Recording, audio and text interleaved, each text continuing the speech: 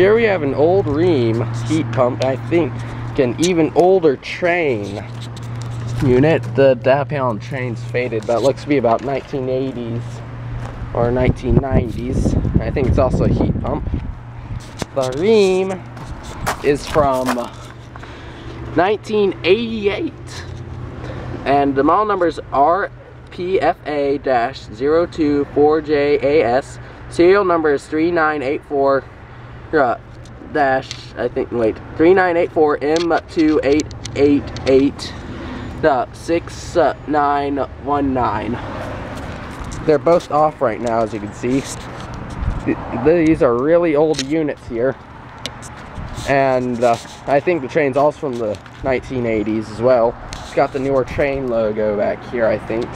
Not quite sure, but the Rheem is definitely old. Rheem Custom high efficiency heat pump. But yeah, a really old Trane and a, a 1988 Rheem not heat pump. Over and out.